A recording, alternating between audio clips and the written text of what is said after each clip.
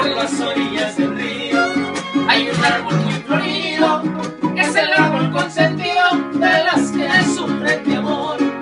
Tiene la flor colorada, lo mismo que el corazón. Ahí van las enamoradas a implorar de compasión. Ahí se ven las rancheritas como duras del sazón. De cuando viuditas, más sabrosas que el calor.